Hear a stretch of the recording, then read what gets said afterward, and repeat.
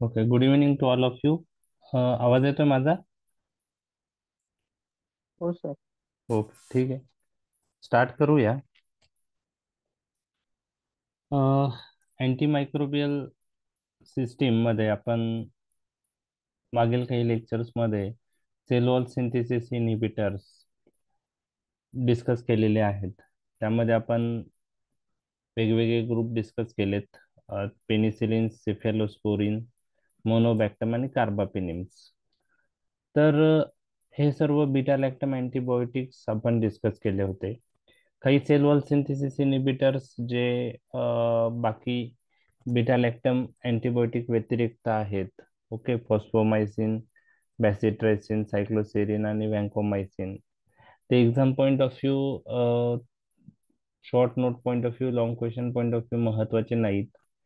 तर त्याच्याविषयी ब्रीफमध्ये आपण एखाद्या लेक्चरमध्ये ते सर्व रिमेनिंग ड्रग डिस्कस करूया. आज आपण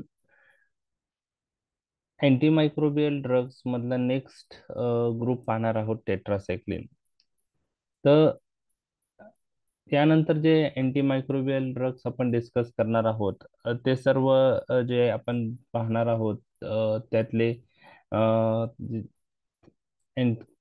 काही अँटीमायक्रोबियल ड्रग्स हे प्रोटीन सिंथेसिस इनहिबिट करून ऍक्ट होणारे आहेत. तर सर्व प्रोटीन सिंथेसिस इनहिबिटर आपण पहिले कंप्लीट करणार आहोत आणि त्यानंतर मग बाकी मेकॅनिझमने ऍक्ट होणारे अँटीमायक्रोबियल ड्रग पाहणार आहोत. जसं सेल वॉल सिंथेसिस इनहिबिटर्समध्ये आपण बिटा लॅक्टम अँटीबायोटिक्स डिटेलमध्ये डिस्कस केले. तर प्रोटीन सिंथेसिस इनहिबिटर्स कोणकोणते ड्रग्ज आहेत? त्यासाठी एक निमोनिक आपण मागील लेक्चर्समध्ये डिस्कस केलेलं आहे. Go to ATM located at lovely street of Charminar so go G for glycylcycline त्यामध्ये हा एक ग्रुप आहे ग्लायसिल सायक्लिन त्यातले ड्रग जो आहे तो टिगे सायक्लिन एटीएम अमायनोग्लायकोसाईड टेट्रासायक्लिन आणि macrolide go to ATM located lovely street L for lincosamide lovely street L for linezolid S for streptogramins आणि चार मिनार सी फॉर क्लोरॅम्फिनिकॉल.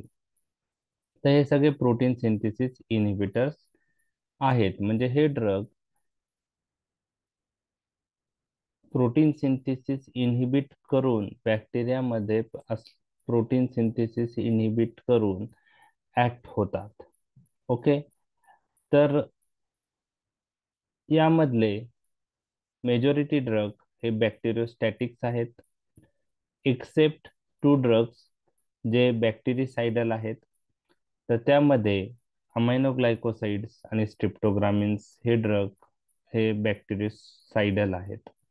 तर all protein synthesis inhibitors are bacteriostatic drug except aminoglycoside and streptogramin these are the protein synthesis inhibitors having bactericidal action.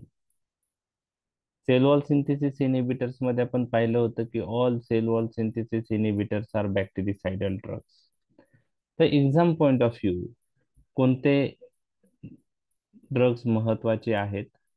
तर aminoglycoside tetracycline आणि मायक्रोलाइड हे तीन group जे आहे ते लॉंग क्वेश्चनच्या दृष्टीने महत्त्वाचे आहेत. तर आज आपण टेट्रासायक्लिन्स डिस्कस करणार आहोत. ओके आणि थोडक्यात क्लोरामफेनिकॉल डिस्कस करणार आहोत. क्लोरामफेनिकॉल आता कॉमनली यूज होत नाही. त्यामुळे त्याच्यात आपण डिटेलमध्ये न जाता फक्त ॲडव्हर्स इफेक्ट महत्त्वाचे जे आहेत ते आपण पाहणार आहोत. तर अमायनोग्लायकोसाईड टेट्रासायक्लिन आणि मायक्रोलाइड हे ड्रग लॉंग क्वेश्चनच्या दृष्टीने महत्त्वाचे आहेत. शॉर्ट नोटच्या दृष्टीनेही महत्त्वाचे आहेत. तर प्रोटीन सिंथेसिस इनहिबिटरचे एक्झाम्पल परत एकदा सांगतोय मी. ग्लायसिल सायक्लिनमध्ये टिगेसायक्लिन एटीएमचं अमायनोग्लायकोसलाइड ग्रुप आहे टेट्रासायक्लिन ग्रुप आहे मायक्रोलाइड लिंकोसॅमाइड लिनेझोलाइड स्ट्रिप्टोग्रामिन्स आणि chloramphenicol day to day clinical प्रॅक्टिसमध्ये कोणते ड्रग्स जास्त ग्रुप तुम्ही किंवा ड्रग्स यूज करतात? लिनिझोलिड वापरतो. ओके. सायक्लिन पण वापरतो. ठीक आहे सायक्लिनचा पण यूज होतोय. ओके. तर तो मेनली आयपीडी लेवलवर होत असेल. हो हो. ओके. आणि आयसीयू मध्ये सर अमायनो ICU. ग्लायकोसाइड्स पण आयसीयू मध्ये. ओके. अमायनो ग्लायकोसाइडमध्ये कोणते जास्त आहे? Gentamicin amikacin amika and gent. Okay. Okay. Paper process मध्ये कधी कधी स्टेप्टोमायसिन होतं. ओके मायक्रोलाइट्सचा यूज पण आहे डे टू डे प्रॅक्टिसमध्ये ओके ॲजिथ्रोमायसिन बरोबर आहे? तर ऑक्झिथ्रोमायसिन ओके. टेट्रासायक्लिन पण काही वेळेस म्हणजे डे टू डे प्रॅक्टिसमध्ये त्याचा यूज आहे. डॉक्झी सायक्लिन जास्त यूज होत आहे. ओके तसं क्लोरामफेनिकॉलचा यूज आहे का जास्त? रिकेट शेल्फ फिवर मध्ये यूज करतो. ओके रिकेल सेल फिवर वापरतो पण rickettsial fever okay. Okay. That commonly use नाही होत. ओके. ठीक आहे. अ, तर याच्यामध्ये आता आपण सर्वच ड्रग पाहणार आहोत पण सुरुवातीला आपण एक्झाम पॉईंट ऑफ व्ह्यू जे महत्त्वाचे आहेत अमायनो ग्लायकोसाइड टेट्रासायक्लिन आणि मायक्रोलाइड हे तीन ग्रुप पहिले डिस्कस करणार आहोत. त्यानंतर रिमेनिंग ड्रग्स पण आपण जरी एक्झाम पॉईंट ऑफ व्ह्यू महत्त्वाचे नसतील तरी पण त्याविषयी आपण डिस्कस करणार आहोत. डे टू क्ले क्लिनिकल प्रॅक्टिसमध्ये काही ड्रग यूज होतात. तर त्या निमित्ताने तुमचं एक त्या ग्रुपचं किंवा काय त्याविषयी तुम्हाला नॉलेज पॉईंट ऑफ व्ह्यू ते पॉईंट्स महत्त्वाचे राहतील. तर आता जसं सेल वॉल सिंथेसिस इनहिबिटर्स आपण डिस्कस केले त्यावेळेस आपण सेल वॉल सिंथेसिस कशी होते? त्या स्टेप्स कोणत्या? ते डिस्कस केलं होतं. त्याच प्रमाणे इथं प्रोटीन सिंथेसिस इनहिबिटर डिस्कस करताना तुम्हाला प्रोटीन सिंथेसिस कशी होते हे जर माहीत असेल तर कोणत्या स्टेप्स इनहिबिट झाल्यामुळे कोणते कोणत्या ड्रग्स कोणत्या स्टेप्स इनहिबिट करून ऍक्ट होतात ते करणार आहे. आता ओव्हरऑल तुम्हाला जर आठवलं नाही how aminoglycosides act tetracycline और macrolide they act by inhibiting protein synthesis एवढंच सांगितलं तरी चालतं. परंतु कोणती स्टेप प्रोटीन सिंथेसिसची इनहिबिट होते? हे तुम्हाला जाणून घ्यायचं असेल तर प्रोटीन सिंथेसिस कशी होते? ते माहीत असणं गरजेचं आहे. आणि ते जर माहीत झालं तर कोणत्या स्टेप कोणत्या ड्रगने इनहिबिट होती ते तुम्हाला कळणार आहे. जरी अमायनोग्लायकोसाईड आणि मायक्रोलाइट प्रोटीन सिंथेसिस इनहिबिटर असले तरी त्यांच्या मेकॅनिझम जे आहे ती वेगळी आहे. अल्टिमेटली प्रोटीन सिंथेसिस इनहिबिट होतं पण मेकॅनिझम ऑफ ऍक्शन ही वेगळी आहे.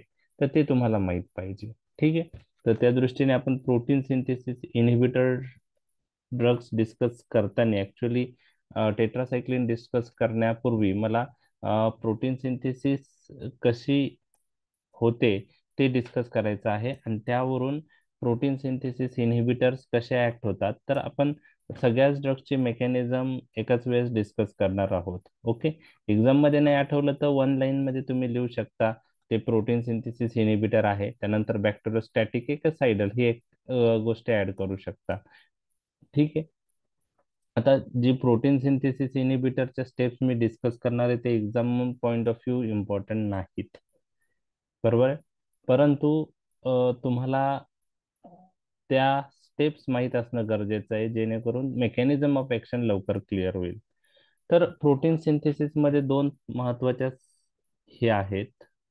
प्रोसेस एकाला आपण ट्रान्सक्रिप्शन प्रोसेस म्हणतो किंवा ट्रान्सलेस ट्रान्सक्रिप्शन स्टेज म्हणतो आणि दुसरी आहे ट्रान्सलेशन तर ट्रान्सक्रिप्शन आणि ट्रान्सलेशन म्हणजे काय? ते मी तुमच्याशी डिस्कस करणार आहे. म्हणजे बॅक्टेरियामध्ये प्रोटीन्स कसे फॉर्म होतात? आता proteins are nothing but the long chain of amino acid खूप सारे अमायनो ऍसिड एकत्र आल्यानंतर ते पर्टिक्युलर प्रोटीन तयार होतं. बरोबर आहे? तर proteins are nothing but the long chain of amino acid तर प्रोटीन्स तयार होण्यासाठी दोन स्टेप महत्त्वाचे आहे. तर पहिली स्टेप काय आहे? त्या स्टेपला नाव आहे ट्रान्सक्रिप्शन. ट्रान्सक्रिप्शनमध्ये काय होतं? की transcription is the process in which mRNA is formed from DNA.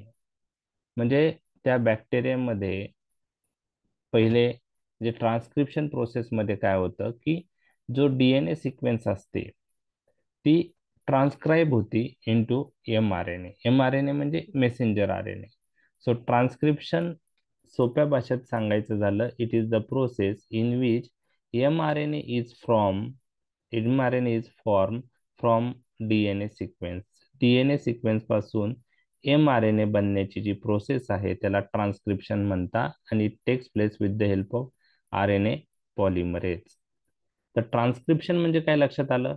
ट्रान्स्क्रिप्शनमध्ये काय फॉर्म होतो? एम आर एन ए कशापासून तयार होतो? डीएनए पासून डीएनए पासून. DNA सिक्वेन्सपासून. M R N A messenger R N A and this messenger R N A is important for the formation of proteins and what is translation translation सोप्या भाषेत काय आहे? It is the process of synthesising proteins म्हणजे translation is the process in which proteins are synthesise from M R N A messenger R N A मध्ये जी information आहे त्यावरून proteins फॉर्मेशनची जी process आहे त्याला ट्रान्सलेशन म्हणतात. आणि we know that where proteins are synthesise in our cell proteins are synthesise in ribosomes sorry in mitochondria मध्ये होता. रायबोझोम बाय मिस्टेक आलं. Ribosome is required for synthesis of proteins okay त्यात ते असतात. ओके तर translation म्हणजे काय ते लक्षात आलं?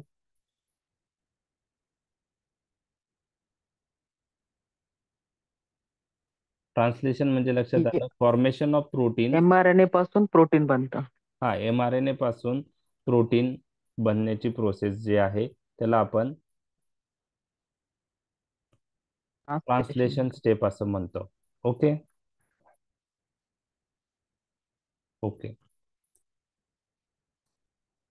okay. तर प्रोटीन सिंथेसिस ओके ती रायबोझोममध्ये होते. मायटोकॉन्ड्रिया मी चुकून म्हटलं रायबोझोमच करेक्ट आहे. तर प्रोटीन सिंथेसिस कशी होते ते आपण पाहणार आहोत. तर protein synthesis takes place in ribosome okay. आणि एम आर एन ए पासून जी प्रोटीन सिंथेसिस होते त्याला ट्रान्सलेशन स्टेप म्हणतात. तर आपल्याला कॉन्सन्ट्रेशन हे ट्रान्सलेशन स्टेपवर करायचं आहे. कोणत्या स्टेपला करायचं आहे ट्रान्सलेशन ओके? ट्रान्सलेशन. ओके. तर ट्रान्सलेशनमध्ये तीन स्टेज असतात. Initiation stage elongation stage and termination stage. म्हणजे प्रोटीन सिंथेसिस स्टार्ट होण्याची प्रोसेस नंतर प्रोटीन तयार होण्यासाठी प्रोटीन्स म्हणजे अमायनो ॲसिडचे लॉंग चेन असतात. मग असे सगळे अमायनो ॲसिड एकत्र येतात. त्याला आपण चेन इलॉंगेशन म्हणतो. आणि नंतर टर्मिनेशन म्हणजे ती प्रोटीन सिंथेसिसची प्रोसेस थांबते. ओके? तर त्यामध्ये तीन महत्त्वाचे घटक आहे. Ribosome M R N A आणि ट्रान्सफर आर एन ए किंवा त्याला टी आर एन ए म्हणतात. तर इनिशिएशन फेजमध्ये काय होतं? इनिशिएशन फेजमध्ये काय होतं? मी तुमच्याशी ते डिस्कस करत आहे. So protein synthesis in bacteria accomplished with the use of 70S ribosome, mRNA आणि tRNA. तर प्रोटीन सिंथेसिससाठी काय लागतं हे तुमच्या लक्षात आलं. Seventy S ribosome M R N A आणि T R N A. Okay? लक्षात आलं? आता कशी होते ते मी तुमच्याशी डिस्कस करत आहे. तर सेवन्टी एस रायबोझोम जे आहे त्याच्यामध्ये दोन सब युनिट असतात. स्मॉल सब युनिट आणि large sub unit small sub unit जो असतो तो थर्टी एस रायबोझोम असतो. आणि लॉ लार्ज सब युनिट जो असतो लार्ज सब युनिट असतो तो फिफ्टी एस रायबोझोम असतो. तर seventy S ribosome consist of two subunit thirty S ribosome and fifty S ribosome आता फिफ्टी एस सब युनिटला दोन साईट असतात. किंवा तुम्ही असं लक्षात ठेवू शकता की फिफ्टी एस रायबोझोममध्ये दोन साईट असतात ए साईट आणि पी साईट ए वरून A for acceptor site A for acceptor site P site म्हणजे पेप्टायडिल साईट आणि त्याचं काय सिग्निफिकन्स आहे हे मी तुमच्याशी डिस्कस करणार आहे. त्याचं काय सिग्निफिकन्स आहे ते मी तुमच्याशी डिस्कस करणार आहे. ओके तर इतकं तर लक्षात आलं प्रोटीन सिंथेसिससाठी तीन महत्त्वाचे पॉइंट्स घटक कोणते आहेत? Seventy S ribosome M R N A आणि T R N A transcription प्रोसेसमध्ये एम आर एन ए तयार झालेला आहे. त्या एम आर एन ए पासून प्रोटीन्स बनतात. With the help of ribosome आणि टी आर एन ए त्या स्टेपला आपण ट्रान्सलेशन स्टेप म्हणतो. आणि प्रोटीन सिंथेसिस हे रायबोझोममध्ये होते ते आपण पाहिलेलं आहे. आणि सेवन्टी एस रायबोझोमचे दोन सब युनिट आहेत थर्टी एस आणि फिफ्टी एस फिफ्टी एस सब युनिटवर किती साईट्स आहेत? दोन साईट टू साईट कोणते साईट्स आहेत त्या A site and P site हा. ए साईटला आपण ऍक्सेप्टर साईट म्हणतो. आणि पी साईटला पेप्टायडिल साईट म्हणतो. आणि यामध्ये काय होतं ते मी तुमच्याशी डिस्कस केलेलं आहे करणार आहे. तर with the help of diagram मी तुमच्याशी डिस्कस करतो म्हणजे तुम्हाला सोपं जाईल. एक मिनिट ओके आता पहा प्रोटीन सिंथेसिस ट्रान्सलेशन स्टेप कसे होते ते मी तुम्हाला सांगतो आहे. तर पहिले काय होतं पहिलं पहा.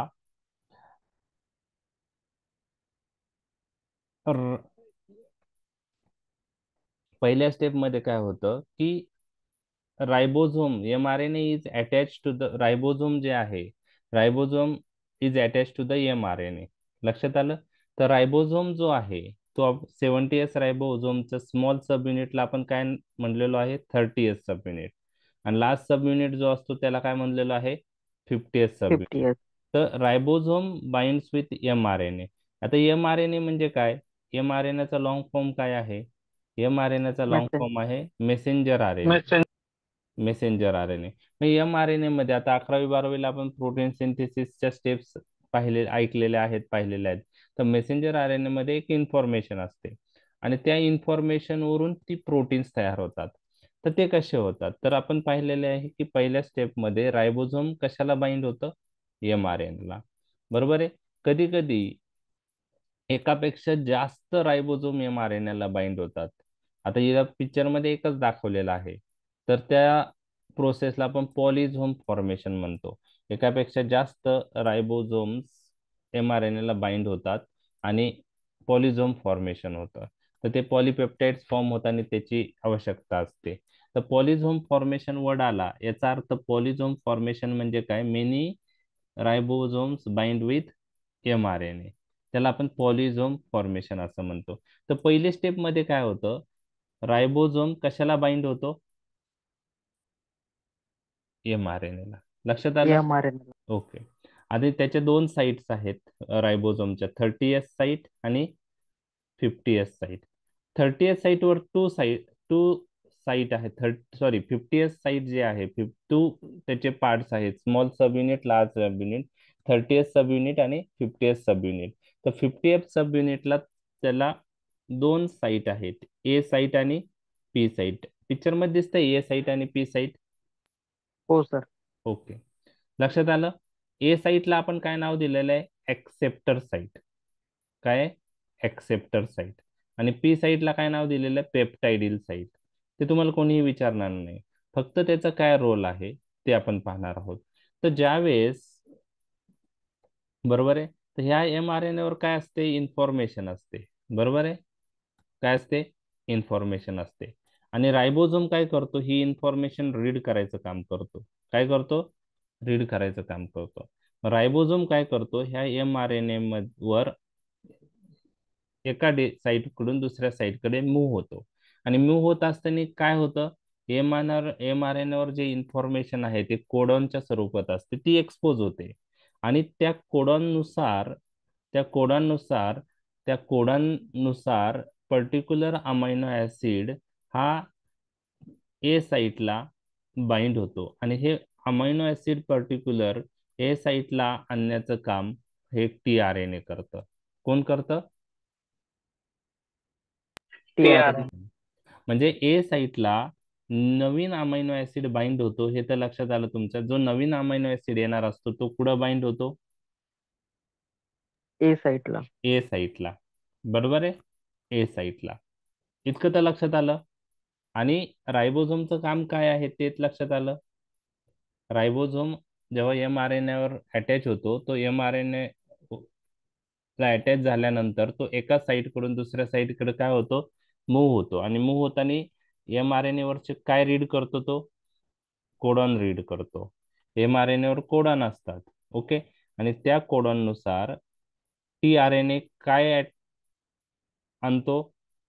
अमायनो ऍसिड आणि तो अमायनो ऍसिड कुठं बाइंड होतो? ए साईडला ए साईटला एक्सेप्टर साईटला इतकं तर लक्षात आलं तुमच्या? बरोबर आहे? ओके. ठीक आहे. आता पी साईटला काय असतं? पी साईटला ऑलरेडी फॉर्म पेप्टाइड चेन असते. ऑलरेडी फॉर्म पेप्टाइड चेन असते. ऑलरेडी फॉर्म आता ही जी डायग्राम आहे ना ही मधून दाखवलेली डायग्राम आहे. म्हणजे हा कोणत्या नंबरचा अमायनो ऍसिड अटॅच झालेला दाखवला इथं? चार नंबरचा चार नंबरचा मग त्याच्या आधीचे एक दोन तीन नंबरचे अमायनो ऍसिड बाइंड होऊन चेन तयार झालेली असेल ना. बरोबर आहे? ते ते कुठं ती ती चेन कुठं असते? टी साईडला पी साईटला असते. बरोबर आहे? म्हणजे P site is for attachment of already form peptide chain already G form झालेली पेप्टाइड चेन आहे ती कुठं अटॅच असते? पी साईटला लक्षात आलं का एवढंच पॉइंट्स आपण आता कोणते कोणते पॉइंट्स पाहिले? आपण ट्रान्सलेशन स्टेप. पाहत आहोत. बरोबर आहे? ट्रान्सलेशन स्टेप म्हणजे एम आर एन ए पासून काय बनतं? प्रोटीन्स बरोबर आहे? एम आर एन एची ची इन्फॉर्मेशन युटिलाइज होऊन काय बनतं? प्रोटीन्स बनण्याची प्रोसेस आहे. त्याला आपण ट्रान्सलेशन स्टेप म्हणतो. त्यामध्ये तीन स्टेप आहे. Initiation step elongation step termination step बरोबर आहे? आणि त्यामध्ये M R N A ribosome आणि टी आर एन एचा रोल आहे.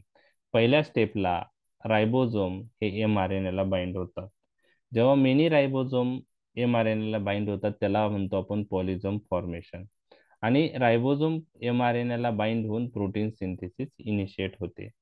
आणि रायबोझोम एम आर एन एवर एका साईटपासून दुसऱ्या साईटकडे मूव्ह होता मूव्ह होत असताना एम आर एन एवरची इन्फॉर्मेशन ती रीड केली जाते. आणि त्यानुसार अमायनो ऍसिड ए साईडला बाइंड होतो. तर ते अमायनो ॲसिड आणण्याचं काम हे टी आर एन ए करतं.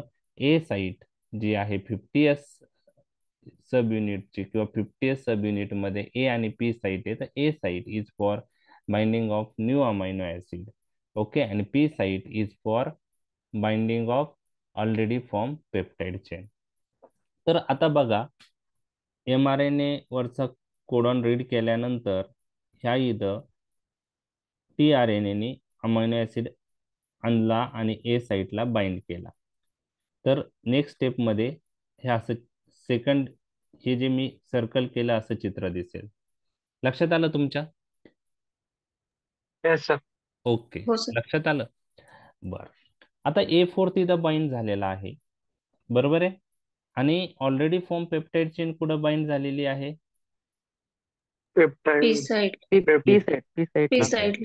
बर. आता हा जर रायबोझोम पुढं मूव्ह झाला पुढं मूव्ह व्हायचा असेल त्याला बरोबर आहे? नेक्स्ट याला. तर मूव्ह होताना मूव्ह झाल्यानंतर नेक्स्ट अमायनो ऍसिड ए साईटला बाइंड होण्यासाठी ए साईट काय पाहिजे? फ्री पाहिजे. आता ए साईटला कोण बॅटायचे आहे? Amino acid A4. आहे. ए फोर आहे. ए फोर तर मग काय होतं? काय होतं? की ही ऑलरेडी फॉर्म पेप्टाइड चेन आहे. It is transfer from P site to A site कुठं जाते? पी साईट टू एला ए ला. जाते. आणि ए साईटला काय होतं? This peptide chain bind with A four with the help of enzyme peptidyl transferase कसं बाइंड होतं ते? पेप्टाइडिल ट्रान्सफरेज लक्षात आलं? मग पहा. आता ए साईटला काय झालेलं आहे? जो A four amino acid bind झाला होता नवीन अमायनो ऍसिड त्याला already form peptide chain P साईटकडून A साईटकडे आली आणि ए साईटला ती नवीन अमायनो ऍसिडला बाइंड झाली. म्हणजे पेप्टाइड चेन वाढली का नाही? वाढली. आता पेप्टाइड चेन वाढली. बरोबर आहे? आता A one A two A three A four झालेला आहे. बरोबर आहे? ठीक आहे. आता नेक्स्ट स्टेपमध्ये काय होतं? ही elongated peptide chain is again transferred from A site to P site मग ती परत पूर्व पहिले कुठं जाते? P side. साईडकडे त्या स्टेपला म्हणतात ट्रान्सलोकेशन स्टेप काय म्हणतात स्टेप त्या स्टेपला ट्रान्स ट्रान्सलोकेशन लोकेशन हे पहा. Transfer of peptide chain from A site to P site is known as translocation step ह्या स्टेप मुळे काय झालं? कोणती साईट फ्री झाली? A side A A site. Site आणि त्याच्यामुळं रायबोझोम पुढे मूव्ह झाल्यावर नेक्स्ट अमायनो ऍसिड ए साईटला येतो. बरोबर आहे? आणि नेक्स्ट अमायनो ऍसिड ए साईटला आल्यावर ए फाईव्ह तिथे अटॅच होतो. त्यानंतरच्या स्टेप परत रिपीट होतात. मग ए फाईव्ह अटॅच झाल्यानंतर काय होईल? पी साईड वरची जी चेन आहे A one A two A three A four he P वरून कुठं जाईल? ए साईडकडे जाईल. ए ला जाईल. आणि with the help of peptidyl transferase enzyme he site ही पेप्टाइड चेन ए ला अटॅच होईल. आणि पेप्टाइड चेन एलॉंगेटेड होईल. मग A one A two A three A four A five बनेल. आणि त्यानंतर ही एलॉंगेटेड पेप्टाइड चेन परत ए वरून कुठं येईल? पी कडे येईल. त्याला आपण ट्रान्सलोकेशन स्टेप म्हणतो. आणि त्यामुळे नेक्स्ट अमोनो ऍसिडसाठी हे साईट परत फ्री होईल. आणि अशा प्रकारे ह्या स्टेप्स रिपीट होऊन ही पेप्टाइड चेन जी आहे A one A two A three A four तशी वाढत जाते. बरोबर आहे? आणि चेन इलॉंगेशन होतं. काय होतं? चेन इलॉंगेशन असं कुठपर्यंत चालतं? जोपर्यंत एम वर टर्मिनेशन कोडॉन येत नाही. टर्मिनेशन कोडॉन आला तर प्रोटीन सिंथेसिस इनहिबिट होते. तर आपण बारावीमध्ये टर्मिनेशन कोडॉन जे आहे. ओके? टर्मिनेशन कोडान ते आहे ते ऐकलेलं आहे. यू ए जी यू जी ए आणि यू ए ते आल्यानंतर मग प्रोटीन सिंथेसिस स्टॉप होते. आणि मग ही एलॉंगेटेड पेप्टाईड चेन जी आहे तर ती specific proteins elongated peptide chain किंवा it is a long chain of amino acid तर हे लॉंग चेन अमायनो ऍसिड जे बनतं त्यालाच आपण प्रोटीन्स म्हणतो. आणि अशा प्रकारे ही प्रोटीन्स तयार होतात. लक्षात आल्या ह्या स्टेप्स? स्टेप्स लक्षात आल्या? हो येस हो सर. ओके. आता ह्या स्टेप्स तुम्हाला कोणी विचारणार नाही बरोबर आहे? ह्या स्टेप्स तुम्हाला कोणीही विचारणार नाही. फक्त आता आपल्याला यामध्ये काय काय लक्षात ठेवायचं आहे ते मी तुम्हाला सांगतो. तुम्हाला हे तर कळलं की ट्रान्सलेशन म्हणजे काय? ओके आणि ट्रान्स्क्रिप्शन म्हणजे काय? सुरुवातीला आपण ते पाहिलेलं आहे. ट्रान्स्क्रिप्शन म्हणजे formation of M R N A from D N A बरोबर? आणि translation means formation of proteins from M R N A आणि the takes place in ribosome आता फॉर प्रोटीन सिंथेसिस आपण पाहिलं तीन महत्त्वाचे पॉइंट तीन महत्त्वाचे हे आहेत ज्याची इन्व्हॉल्वमेंट आहे. त्यात एम आर एन ए आहे रायबोझोम आहे आणि टी आर एन ए आहे. आणि इनिश त्या ट्रान्सलेशनमध्ये तीन स्टेप आहे. इनिशिएशन स्टेप इलॉंगेशन स्टेप आणि टर्मिनेशन स्टेप इनिशिएशन स्टेपमध्ये रायबोझोम एम आर एन एला बाइंड होतं. कधी कधी many ribosome M R N एला बाइंड होता आणि त्याला पॉलिझोम फॉर्मेशन म्हणतो. आणि सुरुवातीला रायबोझोम एम आर एन एवरचं कोड रीड करतात. आपण पाहिले थर्टी एस आणि फिफ्टी एस रायबोझोम असे दोन सब युनिट आहेत. आणि फिफ्टी एस सब युनिटला दोन साईट आहे A site P site A म्हणजे ॲक्सेप्टर साईट पी म्हणजे peptidyl site new amino acid A साईटला बाइंड होतो आणि ऑलरेडी फॉर्म पेप्टाइड चेन ही पी साईटला बाइंड होते. ओके तर नवीन अमायनो ॲसिड ए साईटला बाइंड होतो आणि ऑलरेडी फॉर्म पेप्टाइड चेन ही पी साईटला बाइंड असते फिफ्टी एस सब युनिटच्या तर आपण पाहिलेलं आहे नवीन अमायनो ऍसिड ए साईटला बाइंड झाल्यानंतर त्या स्टेपला काय होतं? नेक्स्टच्या स्टेपला काय होतं? नवीन amino acid by after reading code on M R N A there is a amino acid to the A to the A site with the help of tRNA. मग ए हा अमायनो ऍसिड बरोबर ए साईटला अटॅच करण्यासाठी उपयुक्त ठरतो. Okay तर त्यानंतरच्या स्टेपला काय होतं? त्यानंतरच्या स्टेपला काय होतं? मी सांगितलेलं लक्षात आलंय तुमच्या नंतरच्या स्टेपला काय होईल? ए साईटला नवीन अमायनो ऍसिड अटॅच झाल्यानंतरच्या स्टेपला काय होतं? आपल्याला मी सांगितलंय की A site next amino acid बाइंडसाठी free पाहिजे. मग नेक्स्ट ती फ्री होण्यासाठी काय होतं की ऑलरेडी फॉर्म पेप्टाइड चेन कुठून कुठं जाते? पी पी साईटपासून ए कडे.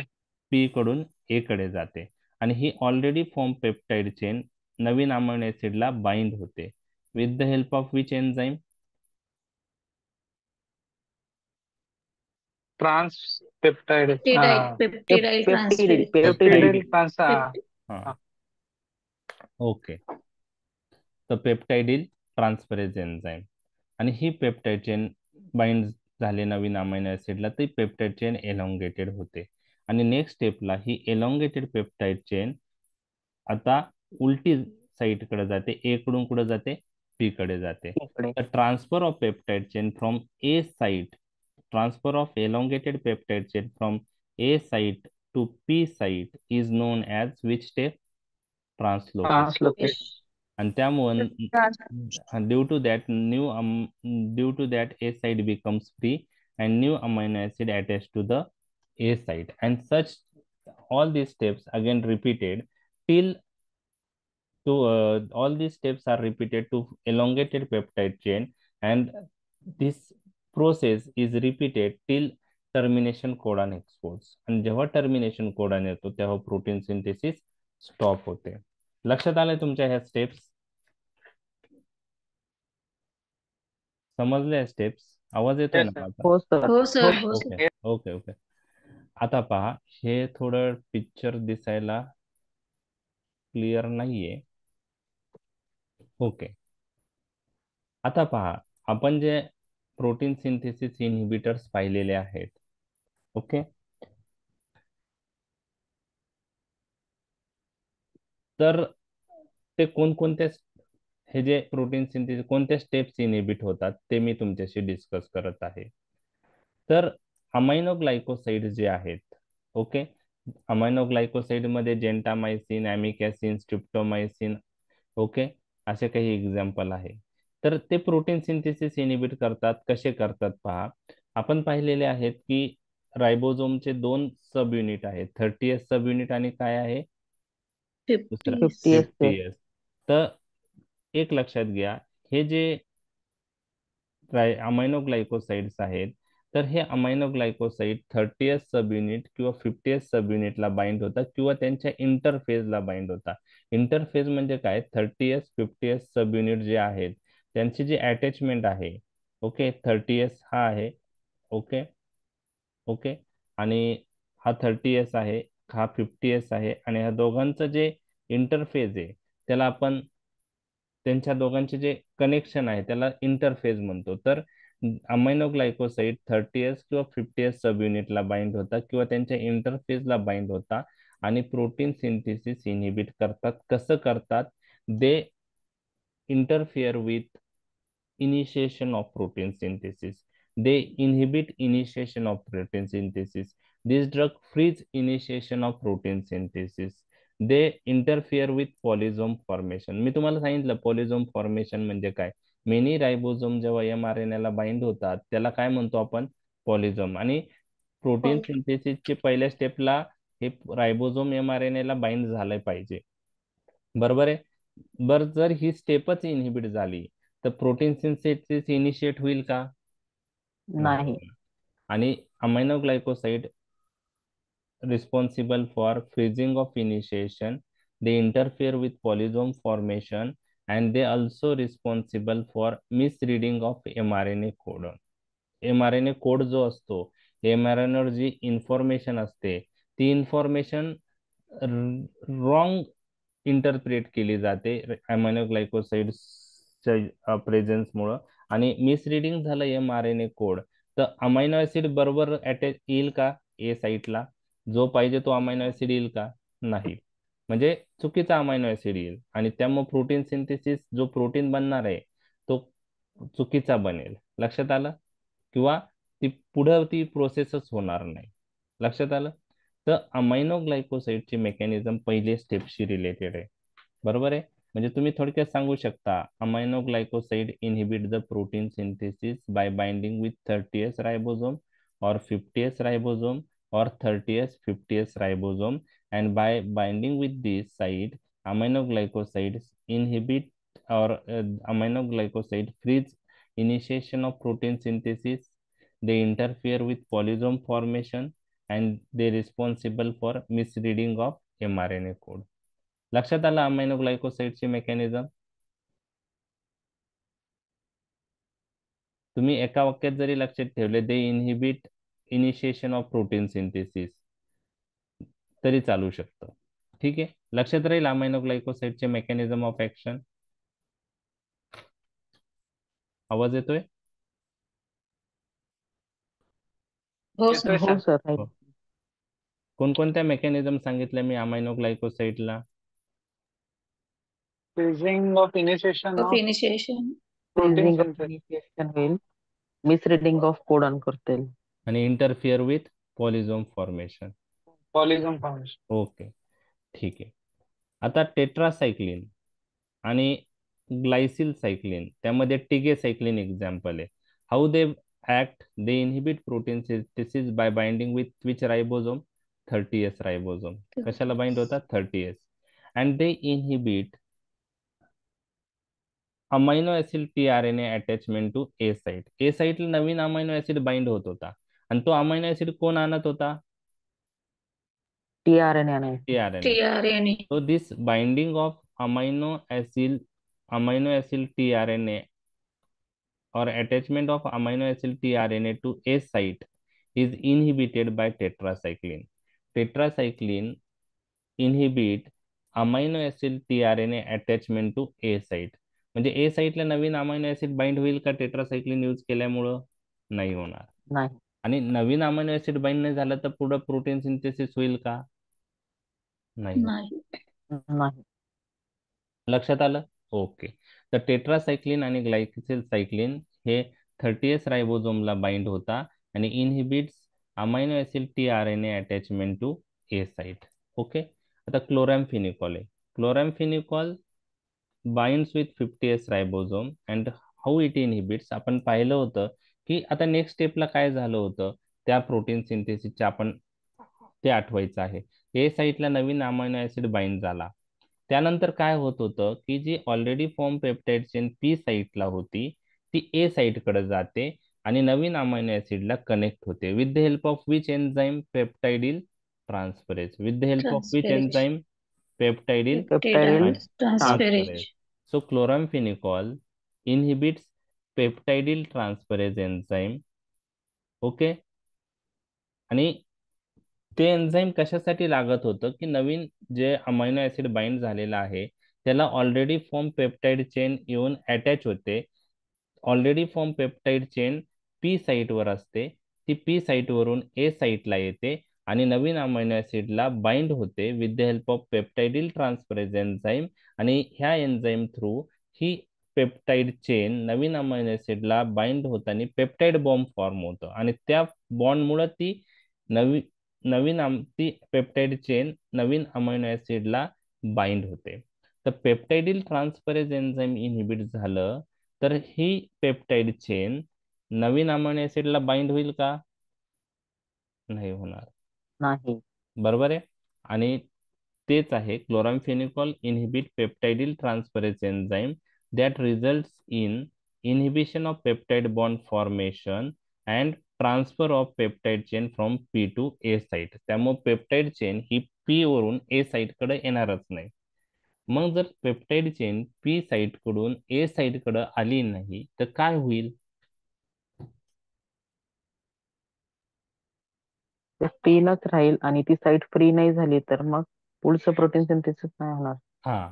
म्हणजे पी वरून ए साईटकडे ती पेप्टाइड चेन आली नाही आणि नवीन अमायनो ऍसिडला बाइंड झाली नाही पेप्टाइड बॉम्ब फॉर्म झाला नाही पेप्टाइड चेन इलॉंगेट झाली नाही आणि नंतरची ट्रान्सलोकेशन स्टेप होणार नाही आणि नवीन अमायनो म्हणजे ती पेप्टाइड चेन जी आहे ती ए साईटला आली नाही तर ए साईटवरचा अमायनो ऍसिड तसाच राहील. ए साईट फ्री होणार नाही. बरोबर आहे? तर त्यामुळं प्रोटीन सिंथेसिस इनहिबिट होईल. लक्षात आलं? तर क्लोरामफेनिकॉल काय करतंय? पेप्टाइड चेनचं ट्रान्सफर कोणत्या साईटकडून कोणत्या साईटकडे इनहिबिट करतंय? P to P2A. कडनं. P2A. P to A P to A आता त्यानंतर तुम्हाला नंतरचे ड्रग्स लक्षात ठेवायचे. Straight merit list S M L S M L ऐकलंय? State merit list state merit list okay state merit list तीन ड्रग लक्षात ठेवायचे. एस म्हणजे स्ट्रिप्टोग्रामिन्स एम म्हणजे इरथ मॅक्रोलाइड त्यात इरोथ्रोमायसिन ऑक्झिथ्रोमायसिन क्लॅरिथ्रोमायसिन येतात. आणि एल म्हणजे लिंकोसॅम लिंकोसम तर हे एस एम एल कसे ऍक्ट होतात? ते bind with fifty S ribosome and this S M L inhibit translocation step which step is inhibited translocation what is the meaning of translocation step translocation स्टेपमध्ये elongated peptide chain कुठून कुठं जात असते? A to P A पासून P. कडनं P A to P कडे. P कडे. म्हणजे हे S M L streptogramins macrolide lincosamide inhibit transfer of peptide chain from A site to P site P side तर इन अदर वर्ड आणि ह्या स्टेपला आपण काय म्हणलं होतं? Translocation step in other word we can say these streptogramins lincosamide and macrolide inhibit which step translocation translocation translocation step and last drug linezolide तुम्ही सांगितलं याचा यूज पण आता डे टू डे क्लिनिकल प्रॅक्टिसमध्ये वाढला आहे तर it binds with twenty three S fraction of fifty S ribosome आता हे लक्षात ठेवायचं याच्यात डिटेलमध्ये मी जात नाही. इवन मला पण twenty three S fraction of fifty S ribosome म्हणजे काय कळलेलं नाहीये. And linezolid inhibits initiation of protein synthesis linezolid पण काय करतं? अमायनो ग्लायकोसाइड सारखं काय इनहिबिट करतं? Initiation of protein synthesis okay ठीक आहे. तर बघा म्हणजे आपण खूप सारे ड्रग्सचं इथं मेकॅनिझम क्लिअर केलेलं आहे. बरोबर आहे? तर आपण आता डायग्राममध्ये तुम्हाला मी परत एकदा दाखवतो. हम्म. बरोबर आहे? आता पहिली जी स्टेप दाखवली आहे इथं ओके? ओके. इथं जी पहिली स्टेप दाखवलेली आहे binding of ribosome with M R N A okay? म्हणजे इनिशिएशन ऑफ प्रोटीन सिंथेसिस कोणत्या ड्रगने इनहिबिट होते? Initiation of protein synthesis amino. Glycoside amino. Glycosides okay amino glycosides okay त्यात स्ट्रिप्टोमायसिन जेंटामायसिन ते येतात. So they interfere they they freeze initiation they interfere with polysome formation and they also responsible for misreading of M R N A code ह्या बरोबर. वेगवेगळ्या. प्रोसेसने ते protein synthesis जे आहे initiation of protein synthesis inhibit होते. आणि अजून एक ड्रग इथं पाहिलंय आपण. लिनेझोलाइड लिनेझोलाइड लिंकोसमाइड हा लिनेझोलाइड. लिंकोसॅमाइड नाही लिंकोसॅमाइड एस एम एलमध्ये येतं. ठीक आहे? ओके आता नेक्स्ट स्टेप जी आहे binding of amino acid T R N A to A site okay हा टी आर एन ए जो आहे बरोबर?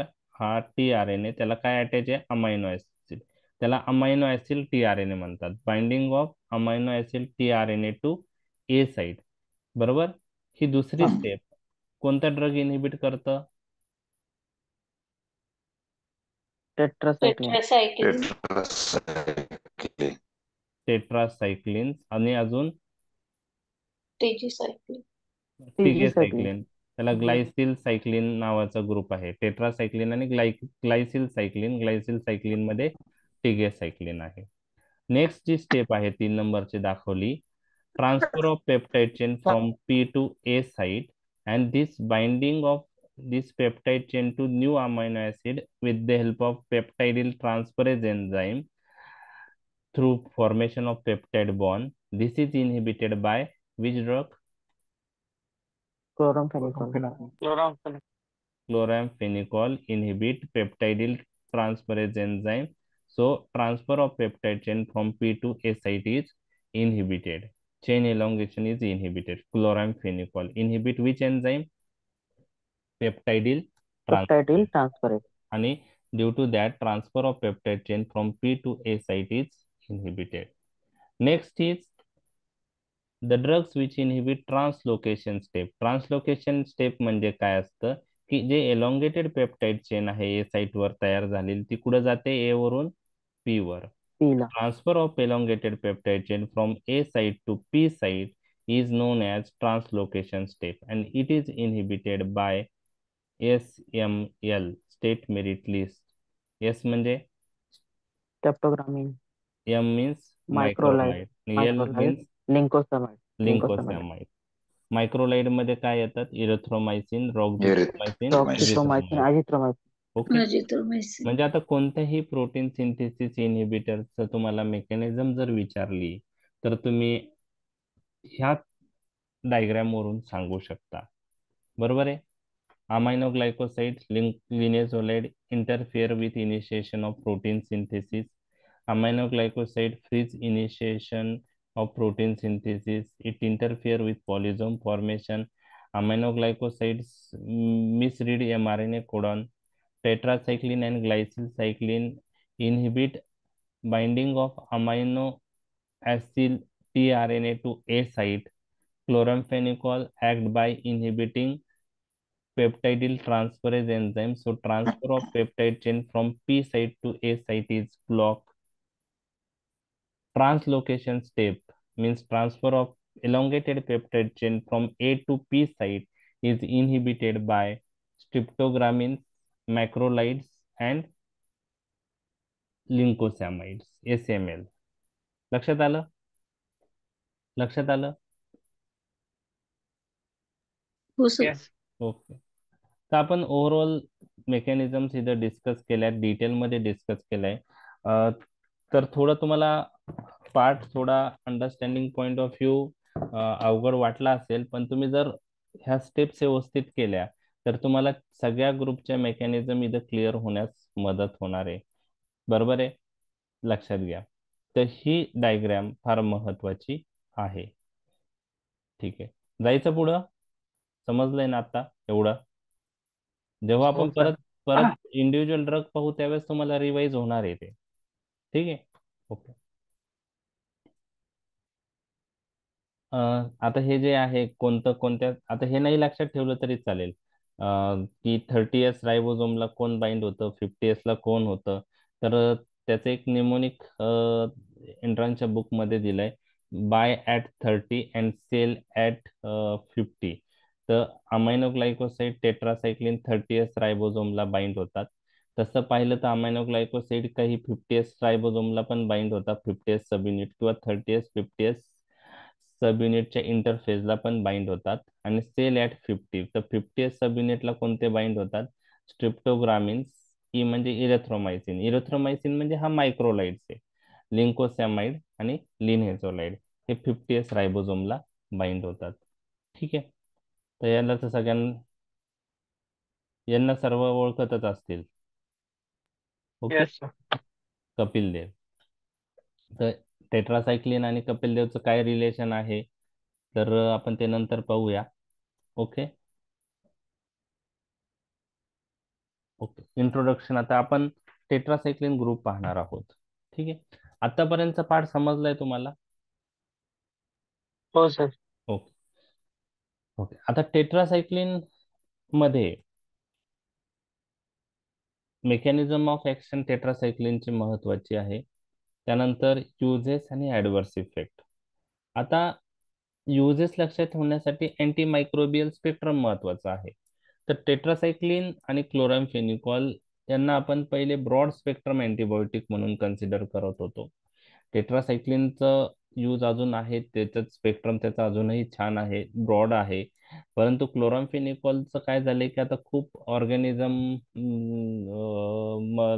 रेजिस्टन्स डेव्हलप झालाय. त्यामुळे तो आता एवढा जास्त कॉमनली यूज होत नाही. त्याचप्रमाणे त्याचे ऍडव्हर्स इफेक्ट पण आहे. तर यामध्ये टेट्रासायक्लिनवर क्वेश्चन येण्याचे चान्सेस जास्त आहेत टेट्रासायक्लिन आणि क्लोराम्फेनिकॉलमध्ये तर पहिले आपण इंट्रोडक्शन पार्ट पाहणार आहोत. टेट्रासायक्लिन टेट्रा मीन्स चार म्हणजे त्याच्या चार बेन्झिन रिंग असतात म्हणून त्याच्या न्यूक्लियसमध्ये त्याला आपण टेट्रासायक्लिन म्हणतो. हा ब्रॉड स्पेक्ट्रम आहे. बॅक्टेरियोस्टॅटिक आहे का सायडल आहे? आपण पाहिलं all protein synthesis inhibitors are bacteriostatic except except streptogramin aminoglycoside aminoglycosides streptogramin streptogramins पण टेट्रासायक्लिन बॅक्टेरियोस्टॅटिक आहे. How they act tetracycline act by inhibiting protein synthesis. Which type of protein synthesis is inhibited? tRNA attached to the A A site. Binding of amino acid tRNA तर त्याला फक्त tRNA नसतो त्याच्याबरोबर amino acid पण असतो. म्हणून त्याला नाव दिलंय amino acid tRNA binding of amino acid tRNA to A site is inhibited by tetracycline लक्षात राहील? तुम्हाला एमसीक्यू पण येऊ शकतो. Which of the following drug inhibit binding of amino acid tRNA to A site tetracycline लक्षात आलं? म्हणजे कोणती पहिले थर्टीथ ला बाइंड होतो ना सर? काय काय? थर्टी एस रायबोझोमला बाइंड होईल आणि मग ते इनिबिट करेल ना? हा थर्टी एस रायबोझोमला बाइंड होईल मग इनहिबिट करेल. आणि आता कसं आहे की थर्टी एस रायबोझोमला बाइंड होऊन ही amino acid T R N ची अटॅचमेंट ए साईटला होऊ देणार नाही तो. लक्षात आलं? हो sir okay what are the example of antibiotics which act by inhibiting protein synthesis तुम्हाला मी दोन ते तीन वेळा आपल्याला डिस्कस झालंय. निमोनिक आहे. Okay go to A T M located at lovely street of Charminar so glycylcycline aminoglycoside tetracycline macrolides lincosamide linezolid streptogramins आणि क्लोरॅमफिनिकॉल हे प्रोटीन सिंथेसिस इनहिबिटर्स आहे. तर टेट्रासायक्लिनमध्ये क्लोर टेट्रासायक्लिन हा प्रोटोटाइप आहे. एकोणीसशे अठ्ठेचाळीसमध्ये तो पहिले डिस्कवर्ड झाला आणि त्यानंतर बाकी टेट्रासायक्लिन पण डिस्कवर्ड झाले. आता हे टेट्रासायक्लिन कसे ऑप्टेन झाले? तर तुम्हाला माहीत आहे की जे बॅक्टेरिया किंवा मायक्रो ऑर्गॅनिझम आहे तर काही अँटीबायोटिक हे मायक्रो ऑर्गॅनिझमपासून ऑप्टेन केले गेले. जसं पेनिसिलिन मी तुम्हाला सांगितलेलं आहे. फंगायपासून ऑप्टेन केलेला आहे तो. Okay penicillium notatum penicillium chrysogenum. तसंच टेट्रासायक्लिनची डिस्कवरी कशी झाली? तर काय झालं की different parts of the world soil specimen screening करताना दिसून आलं. स्क्रीनिंग कशासाठी करत होते की त्यात काही मायक्रो ऑर्गॅनिझम्स आहेत का जे अँटीबायोटिक प्रोड्यूस करतात? तर त्यासाठी स्क्रीनिंग केलं गेलं आणि त्यात असं दिसून आलं की जे सॉइलमध्ये मायक्रो ऑर्गॅनिझम आहे त्यातले काही मायक्रो ऑर्गॅनिझम हे टेट्रासायक्लिन सारखे जे अँटीबायोटिक आहेत ते प्रोड्यूस करतात. तर पहिला जो कंपाऊंड होता तो क्लोर टेट्रासायक्लिन होता. एकोणीसशे अठ्ठेचाळीस ला दिसून आला.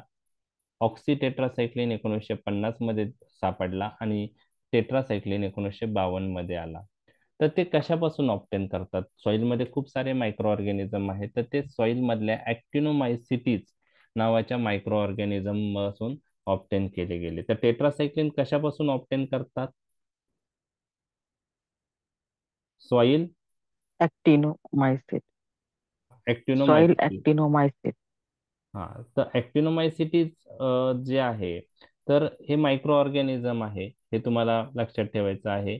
आणि त्यापासून टेट्रासायक्लिन ऑप्टेन केले गेले. ओके? तर gram positive filamentous filamentous with branch appearance आहे त्याचं. आणि त्या सॉइल ऍक्टिनोमायसिटीजपासून हे टेट्रासायक्लिन ऑप्टेन केले गेले. तर टेट्रासायक्लिनमध्ये चार रिंग आहे बेन्झिन रिंग.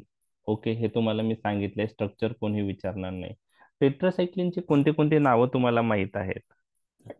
टेट्रासायक्लिनमध्ये टेट्रासायक्लिन एक नाव येतच. पण अजून कोणते एक्झाम्पल आहे टेट्रासायक्लिन? डॉक्सिसायक्लिन. डॉक्झिसायक्लिन अजून? डॉक्सिसायक्लिन. मिन मिनोसायक्लिन आहे. मिनोसायक्लिन आहे. डिमिक्लोसायक्लिन ऐकलंय तुम्ही? नाही. डिमिक्लोसायक्लिन ओके टेट्रासायक्लिन आहे. आणि हो. पहिले कोणते ऑप्टेन झाले ते तर तुम्हाला मी सांगितले ऑलरेडी क्लोर टेट्रासायक्लिन ऑक्सी टेट्रासायक्लिन आणि टेट्रासायक्लिन हे ओल्डर आहेत. क्लोर टेट्रासायक्लिन ऑक्सी टेट्रासायक्लिन आणि टेट्रासायक्लिन हे ओल्डर आहे. न्यूअरमध्ये काय आहे? न्यूअरमध्ये काय आहे? त्यामध्ये डिमिक्लोसायक्लिन आहे डॉक्झीसायक्लिन आहे आणि मिनोसायक्लिन आहे. तर एक क्लासिफिकेशन असं केलंय की ओल्डर एजंट आणि न्यूअर एजंट खूप सोपं आहे क्लासिफिकेशन टेट्रासायक्लिनचं सिफेलोस्पोरिनचं तरी खूप अवघड आहे. त्याच्या तुलनेत हे खूप सोपं आहे ओल्डर एजंटमध्ये कोणते? कोलोर टेट्रासायक्लिन ऑक्सी टेट्रासायक्लिन आणि टेट्रासायक्लिन आणि न्यूअरमध्ये कोणते? आहेत डिमिक्लोसायक्लिन डॉक्झीसायक्लिन आणि मिनोसायक्लिन लक्षात आलं. Okay older. Chlortetracycline oxytetracycline tetracycline न्यूअरमध्ये demeclocycline doxycycline आणि मिनोसायक्लिन हे क्लासिफिकेशन आहे. अजून एक क्लासिफिकेशन आहे depending on duration of action okay short acting intermediate acting आणि लॉंग ऍक्टिंग जे ओल्डर एजंट होते ना क्लोर टेट्रासायक्लिन ऑक्सी टेट्रासायक्लिन टेट्रासायक्लिन हे शॉर्ट ऍक्टिंगमध्ये येतात. तर शॉर्ट ऍक्टिंगमध्ये ते आहेत. आणि न्यूअर मधला डिमिक्लोसायक्लिन इंटरमिडिएट ऍक्टिंग आहे आणि डॉक्झिसायक्लिन आणि मिनोसायक्लिन काय आहे? लॉंग ऍक्टिंग आहे.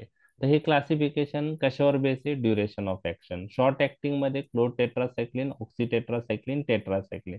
इंटरमिडिएट ऍक्टिंगमध्ये डिमिक्लोसायक्लिन आणि लॉंग ऍक्टिंगमध्ये डॉक्झिसायक्लिन आणि मिनोसायक्लिन. आता याचं सिग्निफिकन्स काय आहे? काय लक्षात ठेवता येईल तुम्हाला? तर फ्रिक्वेन्सी ऑफ ऍडमिनिस्ट्रेशन जे शॉर्ट ऍक्टिंग आहे ते आपल्याला तीन टाइम ते चार टाइम द्यावा लागतात. ओके हा ड्रॉबॅक आहे त्यांचा. इंटरमिडिएट ऍक्टिंग आपण ट्वाईस डेली देऊ शकतो बीडी आणि लॉंग ऍक्टिंग जे आहे वन्स डेली सफिशियंट आहे. मग तुम्ही पहा डॉक्झीसायक्लिन आपण काय देतो? वन्स डेली देतो. पण टेट्रासायक्लिन आपल्याला जास्त फ्रिक्वेन्सीने द्यावा लागतात. डेली टीडीएस किंवा क्यू आय डी तर हे लक्षात आलं classification short acting intermediate acting long acting okay ठीक आहे? नेक्स्ट समजलंय आतापर्यंतचा पार्ट हो सर ओके आता मेकॅनिझम ऑफ ऍक्शन आपण खूप डिटेलमध्ये ऑलरेडी डिस्कस केल्यामुळे तुम्हाला फार इझी जाणार आहे. पहा tetracyclines are primarily bacteriostatic how they act they act by inhibiting protein synthesis where this drug bind 30s ribosome or 50s answer is 30s ribosome. बरोबर आहे? तर कसं इनहिबिट होतं पहा. Binding of amino acid T R N A to A site is inhibited so tetracycline bind with 30s ribosome and inhibit binding of amino acid tRNA to the A site. लक्षात आलं? Okay peptide chain fails to grow ती step inhibit झाल्यामुळे peptide chain वाढणारच नाही. Proteins बनणारच नाही. तर protein synthesis inhibit झाली. लक्षात आलं? तर तुम्हाला कोणता पॉईंट लक्षात ठेवायचा आहे मेकॅनिझममध्ये? हा पॉईंट लक्षात ठेवायचा आहे. प्रोटीन सिंथेसिस इनिबिट होतं हे तर लक्षात आलं. पण binding of amino acid to amino acid T R N A to A site is inhibited हे लिहिलं तर तुम्हाला मार्क जास्त पडतील. ओके समजलंय मेकॅनिझम हो सर ओके आता आता नंतरचा पार्ट काही महत्त्वाचा नाही. एक्झाम पॉइंट ऑफ व्ह्यू नाही लक्षात ठेवलं तरी चालेल. बरोबर आहे? How this drug enters bacterial cell तुम्हाला माहिती आहे बॅक्टेरियल सेलमध्ये एंटर होण्यासाठी प्रोटीन सिंथेसिस इनहिबिट करायचे असेल तर त्याला पहिले सेलमध्ये यावं लागेल बॅक्टेरियाच्या बरोबर आहे? आणि त्यानंतर प्रोटीन सिंथेसिस इनहिबिट होणार आहे. बरोबर आहे? तर मग ते कसे आत येऊ शकतात?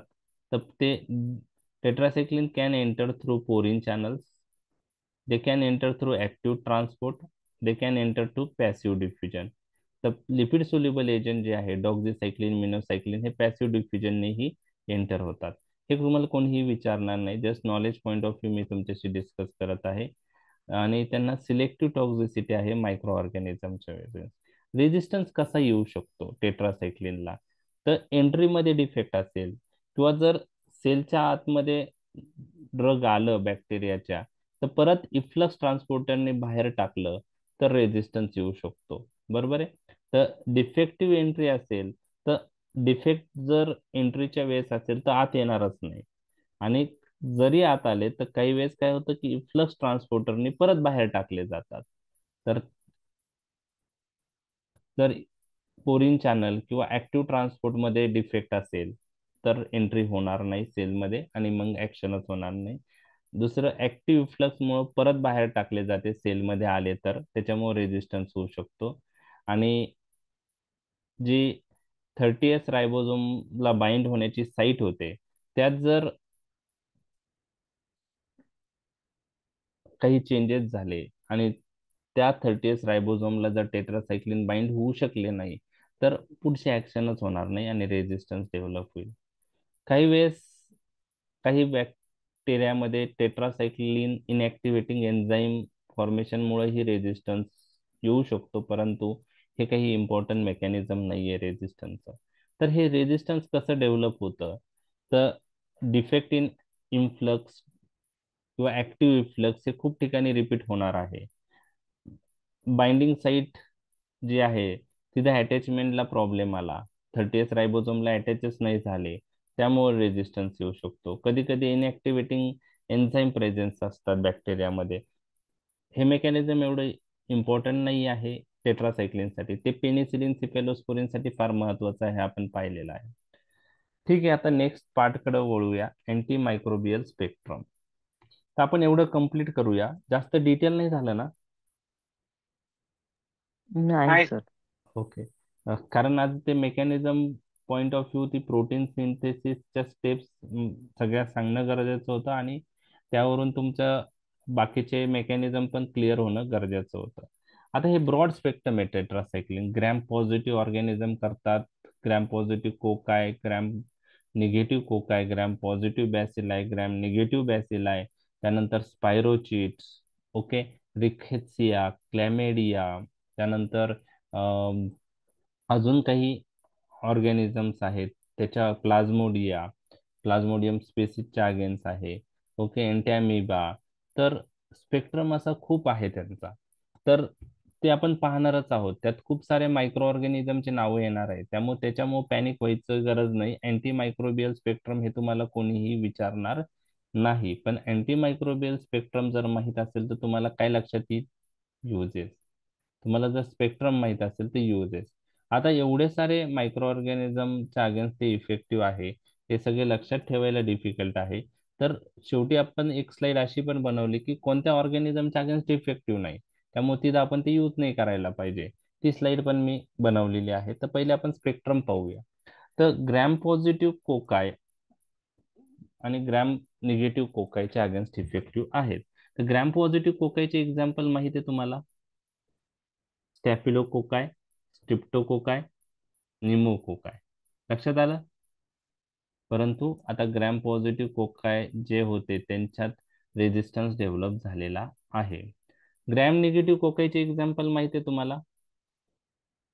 Gram negative N gonorrhoeae N meningitidis तर आपण कशात यूज करू शकतो मग हे ड्रग? गोनोरियामध्ये. आपण कशात यूज करू शकतो हे drug? Meningitis cause by Neisseria meningitidis organism लक्षात आलं? लक्षात आलं? ओके पेनिसिलिनमध्ये पण आलेले आहे. किंवा एम्पिसिलिन अमॉक्झिसिलिनमध्ये पण ग्रॅम निगेटिव्ह कोकाईचं एक्झाम्पल आलेले. आहे ओके आता त्यानंतर ग्रॅम पॉझिटिव्ह बॅसिलाय आणि gram negative bacilli gram positive बॅसिलायमध्ये कोणकोणते आहे पहा.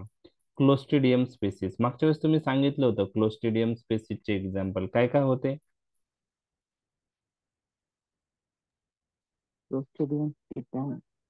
Yes clostridium tetani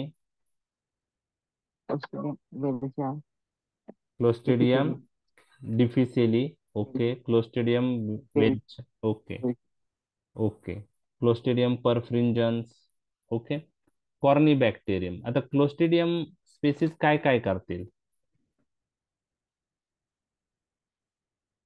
Clostridium gas gangrene tetanus लक्षात आलं? हे ऍटलिस्ट लक्षात राहील. कॉर्नी बॅक्टेरियम काय करेल corynebacterium corynebacteria diphtheria तो काय करेल मग? कोणता आजार करेल? Diphtheria listeria monocytogenes gram positive bacilli जो आहे लिस्टेरिया त्याच्या अगेन्स्ट ही टेट्रासायक्लिन इफेक्टिव्ह आहेत. ओके तर लिस्टेरिया मोनोसायटोजन हा ऑर्गॅनिझम जो आहे हा ग्रॅम पॉझिटिव्ह आहे आणि याच्यामुळं लिस्टेरोसिस लिस्टेरिओसिस होतं. बॅसिलस अँथ्रॅसिस त्याने काय होणार आहे? अँथ्रॅक्स. त्याच्यामध्ये पण ते इफेक्टिव्ह आहे. They are effective against atypical mycobacteria atypical mycobacteria काय करतात?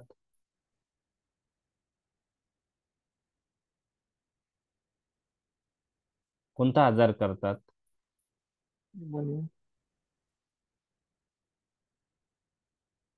अटिपिकल मायकोबॅक्टेरिया अटिपिकल मायकोबॅक्टेरिया कोणता आजार करतात? ट्युबरक्लोसिस येस ट्युबरक्युलोसिस करतात. आता मायकोबॅक्टेरियम ट्युबरक्युला मायकोबॅक्टेरियम ट्युबरक्युलाय जो आहे तो टिपिकल मायकोबॅक्टेरिया आहे. जो ट्युबरक्युलोसिसचा मेन कॉज आहे. परंतु कधी कधी मायकोबॅक्टेरिया च्या अटिपिकल फॉर्म आहे त्याच्यामुळे ही ट्युबरक्युलोसिस होतं. ओके? तर mycobacterium kansasii mycobacterium scrofulaceum mycobacterium avium complex यांना आपण अटिपिकल मायकोबॅक्टेरिया म्हणतो. म्हणजे ट्युबरक्युलोसिस हा फक्त मायकोबॅक्टेरियम ट्युबरक्युलाय याच्यामुळेच नाही होत. काही अटिपिकल मायकोबॅक्टेरिया असतात ते पण ट्युबरक्युलोसिस करतात. तर ट्युबरक्युलोसिसचे कॉज हे टिपिकल मायकोबॅक्टेरिया आहे त्याचप्रमाणे अटिपिकल मायकोबॅक्टेरिया पण आहे. लक्षात आलं? लक्षात आलं? ओके. हो. आता हे मी का रिपीट करतोय की तुम्हाला ओरिएंटेशन आलं पाहिजे? डिसीजचे नावं लक्षात येतील. Listeriosis diphtheria anthrax atypical mycobacteria म्हणजे tuberculosis cause by atypical mycobacteria tetanus gas gangrene. लक्षात आलं? युजेस पॉईंट ऑफ व्ह्यू तुम्ही लिहू शकतात. ग्रॅम निगेटिव्ह बॅसिलाय कोणकोणते आहे? H ducreyi. Haemophilus ducreyi. यांनी काय होतं बरं? कोणता सेक्सुअली ट्रान्समिटेड डिसीज होतो? सिफिलिस नाही. टँक्रोइड होतं त्यांनी व्हेरी गुड शँक्रॉइड सिफिलिस कशाने होतो? तुमचं म्हणजे थोडं कन्फ्युजन कसं झालंय की दोघांमध्ये शँक्रॉइड असतात सॉफ्ट आणि हार्ड त्याच्यामुळे झालं. एज डुकराय जो आहे त्याने काय होतं? शँक्रॉइड होतं. आणि हा आणि सिफिलिस नावाचा जो आजार आहे तो कशाने होतो? Treponema pallidum. कशाने. ओके. तर शँक्रॉइड जर आलं तर एच डुकराय काय? H ducreyi okay? H ducreyi आता थोडं थोडं अवघड वाटेल तुम्हाला नावं. फक्त आपल्याला लक्षात ठेवायचं की आता chancroid is a sexually transmitted disease. Chancroid काय? सेक्सुअली ट्रान्समिटेड डिसीज आहे आणि एस डुक्राईने होतो. Klebsiella granulomatis. Klebsiella granulomatis. त्याला पहिले ग्रॅ कॅलिमॅटोबॅक्टेरियम ग्रॅन्युलोमॅटिस असंही म्हणायचे. Klebsiella granulomatis. यांनी कोणता आजार होतो ते किंवा कोणता डिसीज होतो हे तुम्हाला लक्षात ठेवायचं आहे. ओके? कोणता? डिसीज होतो ते लक्षात ठेवायचं आहे. माहिती आहे तुम्हाला कोणता डिसीज होतो याने?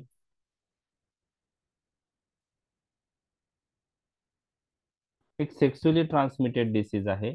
तो क्लेप्सेला ग्रॅन्युलोमॅटिसने होतो. त्याचं नाव आहे ग्रॅन्युलोमा. आता हे डे टू डे क्लिनिकल प्रॅक्टिसमध्ये तुम्हाला हे केसेस जास्त नसतात त्यामुळे तुम्हाला हे नावं माहीत नाहीये. Granuloma inguinale. काय म्हणतो आपण त्याला? ग्रॅन्युलोमा एंग्वायनली जेनाइटल अल्सर्स होता या organism klebsiella granulomatis klebsiella granulomatis responsible for sexually transmitted disease and the name of disease is granuloma inguinale. Granuloma inguinale. याच्यात जेनाइटल अल्सर्स होतात. त्याला दुसरं नाव दिलेलं आहे डोनो व्हॅनोसिस काय नाव दिलेलं आहे? डोनो व्हॅनोसिस त्यासाठी टेट्रासायक्लिन आपण यूज करतो. As a drug of choice म्हणून. लक्षात आलं? शँक्रॉइड लक्षात आलं? सेक्सुअली ट्रान्समिटेड डिसीज कशाने होतो? एज डुकरायने आणि ग्रॅन्युलोमा इंग्वायनेली किंवा डोनोव्हॅनोसिस नावाचा सेक्सुअली ट्रान्समिटेड डिसीज कशाने होतो? क्लेप्सिला ग्रॅन्युलोमॅटिस विब्रिओ कोलोरा त्याने काय होणार आहे? कॉलर कोलोरा सोपं आहे. ठीक आहे? त्यानंतर एअरसिन्ना पेस्टिस एअरसिन्ना एंटेरोकोलायटिका कॅम्पेलोबॅक्टर जेजुनी हे काही gram negative ऑर्गॅनिझमच्या against tetracycline effective H pylori त्यामुळे H pylori peptic induced peptic अल्सरमध्ये आपण टेट्रासायक्लिन यूज करतो. ब्रुसेला माहिती आहे तुम्हाला? ब्रुसेलोसिस. ऐकलंय? नाही. ब्रुसेलोसिस जे आहे की हे ब्रुसेला नावाच्या ग्रॅम निगेटिव्ह ऑर्गॅनिझममुळे होतो. त्यात फिवर जॉईंट पेन फटीक हे मॅनिफेस्टेशन असतात. तर ग्रॅम निगेटिव्ह ऑर्गॅनिझम ब्रुसेला त्या ब्रुसेला एक स्पेसिस आहे त्याच्यामुळे ते होतं. ओके आणि दुसरं आहे पाश्चुरोला मल्टोसिडा जनरली हे ऑर्गॅनिझम ॲनिमल्समध्ये आहे पाश्चुरा मल्टोसिडा जेव्हा ॲनिमल बाईट किंवा स्क्रॅच होतं तेव्हा ह्या पाश्चुरेला मल्टोसिडा नावाचं ऑर्गॅनिझम आहे तो आपल्यामध्ये एंटर होऊ शकतो आणि त्यामुळं इन्फेक्शन होऊ शकतं. तर पाश्चुरोला मल्टीसिडा हा जनरली ॲनिमल बाईट किंवा ॲनिमल स्क्रॅच करताना त्यावेळेस जो होतो त्यापैकी त्यावेळेस जे इन्फेक्शनचे चान्सेस आहे त्यामध्ये हे एक आहे. ओके? त्याचप्रमाणे मेनी अनेरोपच्या अगेन्स्ट इफेक्टिव्ह आहे. एच इन्फ्लुएन्झीच्या अगेन्स्ट इफेक्टिव्ह आहे. एच इन्फ्लुएन्झी हे मिनिंजायटिस करतं. तर हे आपण ओव्हरऑल काही ग्रॅम निगेटिव्ह बॅसिलायजेच्या ज्याच्या अगेन्स्ट टेट्रासायक्लिन इफेक्टिव्ह आहे. आणि त्यामुळं कोणते आजार होतात हे आपण डिटेलमध्ये बघितलेलं आहे. ओके लक्षात आलंय ग्रॅम निगेटिव्ह ऑर्गॅनिझमचे एक्झाम्पल ओके. तर सध्या थोडं ते टफ वाटेल तुम्हाला कारण मी खूप डिटेलमध्ये तुम्हाला सांगतोय. हे अँटीमायक्रोबियल स्पेक्ट्रम तसं नाही लक्षात ठेवलं तरी चालेल. पण काय आहे की तुम्हाला त्याविषयी माहीत असावं. म्हणजे आता पस पाश्चुरेला मल्टोसिडा आहे. त्याच्यामुळं काय होतं? ओके?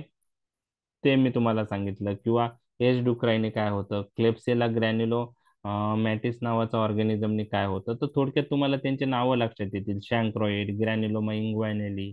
ओके. तर हे झाले ग्रॅम निगेटिव्ह बॅसिल आहे. त्यानंतर आता याच्या व्यतिरिक्त gram positive cocci gram negative cocci gram positive bacilli gram negative bacilli याच्या व्यतिरिक्त स्पेक्ट्रममध्ये काय आहेत ते मी तुम्हाला सांगतो. स्पायरोचिट्सच्या अगेन्स्ट इफेक्टिव्ह आहे. स्पायरोचिटमध्ये ट्रिपिनमा पॅलिडम आहे. काय आहे? ट्रिपोनिमा पॅलिडम ट्रिपोनिमा पॅलिडम काय करतं? तुम्ही आता जस्ट सांगितलंच आहे मला. सिफिलिस सेक्स्युअली ट्रान्समिटेड डिसीज त्यामुळे तुम्हाला सिफिलिस विषयी माहीत आहे. ओके तो एका स्पायरोचिटने होतो. हे तुम्हाला लक्षात ठेवायचं आहे.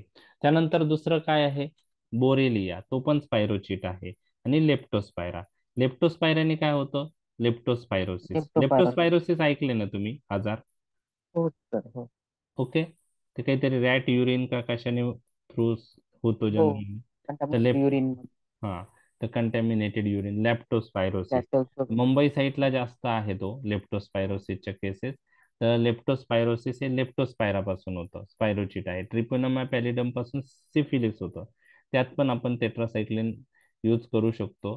बोरेलिया बोरेलिया ह्या स्पेसिसमुळं काय होतं? किंवा बोरेलिया नावाचा जो स्पायरोचिट आहे त्यामुळे काय होतं? तर दोन आजार तुम्हाला लक्षात ठेवायचं आहे. जे बोरेलिया बर्ग डॉर्फी नावाचा स्पेसिस आहे त्याच्यामुळे लाईम डिसीज होतं. आणि जे बोरेलिया हर्मसी नावाचा ऑर्गॅनिझम आहे त्यांनी रिलॅप्सिंग फिवर होतं. ओके? तर लाईम डिसीज रिलॅप्सिंग फिवर याच्यामध्येही आपण टेट्रासायक्लिन यूज करू शकतो. तर रिलॅप्सिंग फिवर हे कोणत्या ऑर्गॅनिझमने होतं? तर बोरेलिया स्पेसिसने होतं हे तुम्हाला लक्षात ठेवायचं आहे. डिटेलमध्ये मी जात नाही. फक्त तुम्हाला सर्च करायचं असेल तर तुम्ही ते ऑर्गॅनिझमचं नाव टाकलं तरी त्यांनी काय होतं ते तुम्हाला लक्षात येणार आहे. ओके? त्यानंतर काही रिकेट्सिया आणि क्लायमेडियाच्या अगेन्स्टही ते टेट्रासायक्लिन इफेक्टिव्ह आहेत. रिकेट्सियल फ्युअर म्हणजे गोचिड ताप आपण असं म्हणतो. त्याच्यामध्ये खूप सारे रिकेट्सिया स्पेसिस आहेत ते तुम्हाला कोणी विचारणार नाही एक्झाममध्ये rickettsial rickettsii rickettsial typhi rickettsial prowazekii orientia tsutsugamushi हे सगळे रिकेट्सियल स्पेसिस आहे. ऐकले होते हे नाव? नाही सर. नाही. ओके. तर रिकेट्सियल फिवर ऐकलेलं आहे तुम्ही. येस सर तर रिकेट्सियाने होतं एवढं माहीत आहे. ओके? पण ते कोणत्या स्पेसिस आहे ते माहीत नाही. कोणी विचारणार नाही. ओके काय मॅनिफेस्टेशन असतं रिकेट्सियल फिवर मध्ये? फिवर चिल बॉडी एक रॅश. असतं body typical okay fever chills typical rash असतात. ओके ठीक आहे. ओके आणि अं, त्याच्यासाठी मग आपण ट्रीटमेंटमध्ये काय काय यूज करतो? आयव्ही मध्ये सॅफ्ट्रॅक्झोन वगैरे देतो सर. Doxycycline. डॉक्सायक्लिन किंवा क्लोरॉम्फेनिकॉल टॅबलेट सेफ्ट्राक्झोन कशात देतो आपण? आयव्ही IV, एआयडी वगैरे. आयपीडी सेफ्ट्राक्झोन ओके हम्म. अजून? Doxycycline. डॉक्सी देतो sir. Doxycycline okay doxycycline okay. Okay. Doxycycline तर डॉक्झीसायक्लिनचा यूज तर मी पाहिलेला आहे. सेफ्ट्राक्झोन आहे इफेक्टिव्ह? हो सर. ओके.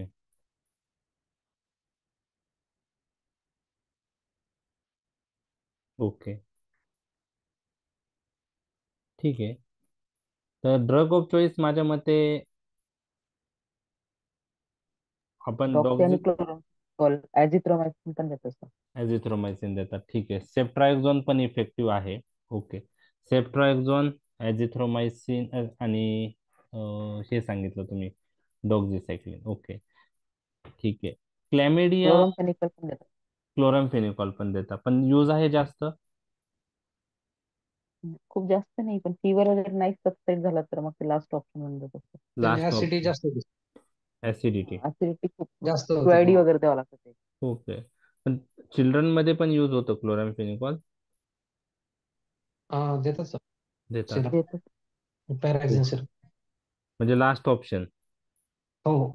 पॅराक्झिन सिरप ओके ठीक आहे. टॅबलेट ओके पण ते सेफ्ट्राक्झोनचे जे आपले क्लोरामफेनिकॉलचे जे ऍडव्हर्स इफेक्ट आहेत बोन मॅरो सप्रेशन किंवा हा प्लॅस्टिक ते काही तुम्हाला मॅनिफेस्ट दिसलेत पेशंटमध्ये का नाही?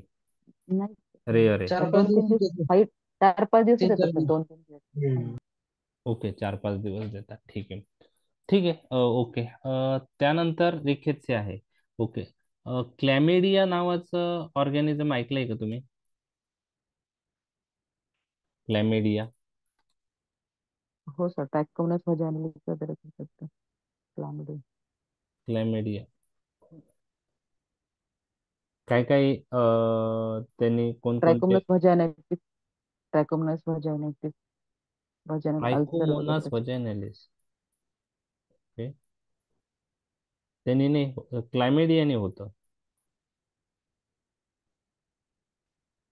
क्लॅमेडिया जो आहे ना क्लायमेडियामध्ये काय असतं की वेगवेगळ्या स्पेसीज आहे पहा. क्लायमेडिया ट्रॅकोमॅटिस आहे. ओके तर त्यांनी काय होतं? युरोजेनायटल इन्फेक्शन होतं. त्यानंतर एक डोळ्यांचा आजार होतो. त्याला ट्राउकोमा म्हणतात. ऐकलंय तुम्ही? ठीक आहे नंतर पहा. त्यानंतर कंजक्टिव्हायटिस होतं. निमोनिया होतं. आणि लिम्फोग्रॅन्युलोमा व्हेनेरम नावाचा सेक्सुअली ट्रान्समिटेड डिसीज होतो एल जी व्ही.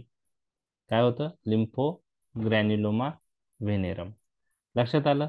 तर ट्राउकोमा लिम्फोग्रॅन्युलोमा व्हेनेरम कंजक्टिव्हायटिस युरोजनायटल इन्फेक्शन हे क्लॅमेडिया ट्राउकोमॅटस नावाच्या स्पेसिसमध्ये होतं. त्यानंतर क्लॅमेडियामध्ये क्लॅमेडिया निमोनी नावाचं पण ऑर्गॅनिझम आहे. त्यांनी ब्रोंकायटिस सायनोसायटिस निमोनिया ते आजार होतात. क्लॅमेडिया सिटॅसी नावाचा जो ऑर्गॅनिझम आहे त्यांनी निमोनिया होतं. तर क्लायमेडिया स्पेसीजमुळं एक तर आय रिलेटेड इन्फेक्शन एक होतात निमोनिया होऊ शकतं आणि एक सेक्सुअली ट्रान्समिटेड डिसीज होतो. त्यांचं नाव आहे लिम्फोग्रॅन्युलोमा व्हेनेरम एल जी व्ही. लक्षात राहील L G V? Lymphogranuloma Yes. Venereum. तर एल जी व्ही. लक्षात आलं? तर ग्रॅन्युलोमा इंग्वायनेली शँक्रॉइड लिम्फोग्रॅन्युलोमा व्हेनेरम हे सगळे काय आहे? Sexually transmitted disease. ओके? ठीक आहे. हे आपण फक्त इथं डिटेलमध्ये का डिस्कस करतोय की युजेसमध्ये तुम्हाला जर वर्ड आलं लिम्फो ग्रॅन्युलोमा व्हेनेरम बरोबर आहे? ग्रॅन्युलोमा इंग्वायनेली शँक्रॉइड तर तुम्हाला ते क्लिक झालं पाहिजे. म्हणून आपण थोडं डिटेलमध्ये हे घेतलंय. स्पेक्ट्रममध्ये नेक्स्ट आहे पॅरासाइट्स. तर क्लॅमे tetracyclines are effective against some parasite like entamoeba histolytica मग अमेबियासिसमध्ये जर आम्हा आपल्याला गरज पडली तर कधी आपण टेट्रासायक्लिन यूज करू शकतो. Tetracycline also effective against plasmodia plasmodia responsible for what plasmodium व्हायवे मलेरी मलेरिया तर मलेरियामध्ये पण टेट्रासायक्लिन आपण जर गरज पडली तर आपण यूज करू शकतो. पहा स्पेक्ट्रम कुठ कुठपर्यंत गेलेलं आहे? म्हणजे gram positive cocci negative cocci positive bacilli negative bacilli हे ग्रॅम पॉझिटिव्ह निगेटिव्ह ऑर्गॅनिझम तर झालेच. त्यानंतर त्यानंतर स्पेक्ट्रम पुढं जे आहेत त्यात काय कोणकोणते कव्हर केलेले आहे? त्यात स्पायरोचिट्स आहेत रिखेत्से आहे क्लॅमेडिया आहे पॅरासाइट्स आहे. बरोबर आहे? मायकोप्लाझ्मा आपण पाहिलंय बिटालॅक्टम अँटीबायोटिक मायकोप्लाझ्माच्या अगेन्स्ट इफेक्टिव्ह होते का? मायकोप्लाझ्मा ऑर्गॅनिझम आहे की त्याला सेल वॉलच नाहीये. सेल वॉल नाहीये. तर त्याच्यात सेल वॉल सिंथेसिस इनिबिटर उपयुक्त राहतील का? नाही. नाही. मायकोप्लाझ्मा एक अटिपिकल न्यूमोनिया करतो. मग मायकोप्लाझ्मा इंड्यूस न्यूमोनिया असेल त्यात बिटालॅक्टम अँटीबायोटिक आपण यूज करू शकतो का? नाही. नाही. तिथं आपण प्रोटीन सिंथेसिस इनिबिटर यूज करतो टेट्रासायक्लिन सारखे. आणि ऍक्टिनोमायसिस नावाचा जो ऑर्गॅनिझम आहे ऍक्टिनोमायसिस इस्रायली तो ऍक्टिनोमायकोसिस करतो. त्याच्यामध्येही टेट्रासायक्लिन उपयुक्त आहे. तर हे सगळं स्पेक्ट्रम झाला टेट्रासायक्लिनचा बरोबर आहे? टेट्रासायक्लिनचा हे स्पेक्ट्रम झाला. लक्षात आलं स्पेक्ट्रम येस सर ओके. ठीक आहे. टेट्रासायक्लिनचा तर एवढं स्पेक्ट्रम झालाय परंतु आता हे सगळं लक्षात ठेवायला डिफिकल्ट आहे. कशाच्या अगेन्स्ट इफेक्टिव्ह नाही ते लक्षात ठेवणं इझी कारण ते काही पिक ऑर्गॅनिझम आहे ते तुम्हाला लक्षात ठेवणं सोपं जातं. कोणाच्या अगेन्स्ट ते इफेक्टिव्ह नाही can we use tetracycline against Pseudomonas answer is no tetracyclines are not effective against Pseudomonas okay not effective against Klebsiella Proteus okay salmonella not effective against klebsiella proteus salmonella okay not effective against trichomonas trichomonas काय करतं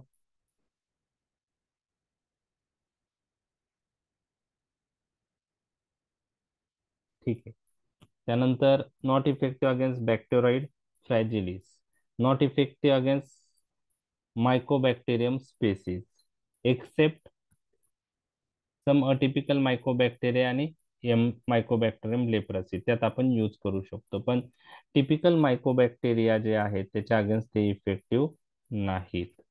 तर हे तुम्हाला माहीत पाहिजे. Okay okay समजलंय spectrum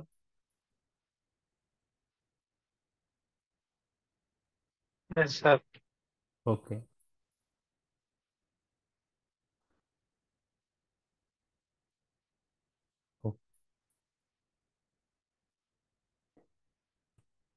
तर परत एकदा आपण पाहूया की कोणत्या ऑर्गॅनिझमच्या अगेन्स्ट टेट्रासायक्लिन इफेक्टिव्ह नाहीत? Pseudomonas klebsiella proteus salmonella trichomonas bacteroid fragilis तुम्हाला मी सांगितले Bacteroides fragilis difficult organism treat करण्यासाठी. मायकोबॅक्टेरियम स्पेसिसच्या अगेन्स्ट नाही परंतु काही अटिपिकल मायकोबॅक्टेरिया आणि मायकोबॅक्टेरियम लेप्रसीच्या अगेन्स्ट टेट्रासायक्लिन इफेक्टिव्ह आहे. ओके लक्षात आलं? ठीक आहे स्पेक्ट्रम आपण डिस्कस केलेलं आहे. ओके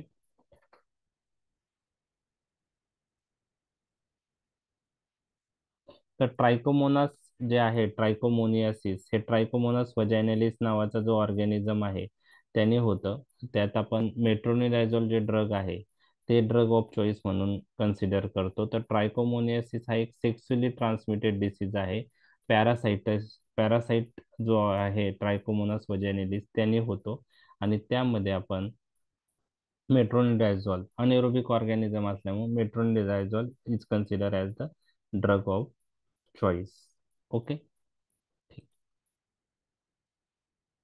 okay पाच दहा मिनिटं घेऊ शकतो का आपण अजून? हो सर. ठीक. आता मग राहिलेला पार्ट ठीक आहे आपण काय करू? भरपूर पार्ट बाकी आहे. राहिलेला पार्ट आपण उद्या डिस्कस करूया. ऑलरेडी साडे अकरा झालेले आहेत. ठीक आहे. कारण त्यात पण काही एम सी क्यू आहेत. ते एम सी क्यू मला डिस्कस करायचे आहेत. तर उद्या आपण दहा वाजता घेऊया. ओके सर ओके आता आजच्या आजच्या लेक्चरमध्ये महत्त्वाचा पार्ट आपण जो प्रोटीन सिंथेसिसच्या स्टेप्स पाहिल्यात त्यांच्या आणि प्रोटीन सिंथेसिस इनहिबिटर्सचे एक्झाम्पल्स जे पाहिले ते कोणत्या स्टेप्स इनहिबिट करून ॲक्ट होता ते तुमचं टिप ऑफ टंग पार्ट झालं पाहिजे जेणेकरून मेकॅनिझम ऑफ ॲक्शन तुमच्या क्लिअर होतील. बरोबर आहे? बाकी स्पेक्ट्रम पॉईंट ऑफ व्ह्यू त्याचं काही टेन्शन घेऊ नका. फक्त कोणत्या ऑर्गॅनिझमने कोणता आजार होतो हे तुम्हाला क्लिक झालं पाहिजे. म्हणजे युजेस लिहिताना तुम्हाला थोडं सोपं जाईल. ठीक आहे? तर उद्या आपण adverse effect pharmacokinetics adverse effect uses आपण पाहणार. क्लोरॅम फिनिकॉल आपण ब्रीफमध्ये डिस्कस करूया. आणि त्यानंतर आपण नेक्स्ट टॉपिक्स पण स्टार्ट करूया. मोस्टली याच्यानंतर टेट्रासायक्लिन नंतर अमायनो ग्लायकोसाइड्स किंवा मायक्रोलाइट पैकी एक टॉपिक मी डिस्कस करेल. ठीक आहे? तर उद्या आपण सा दहा वाजता हे करूया. एक जस्ट हां एक मिनिट हा.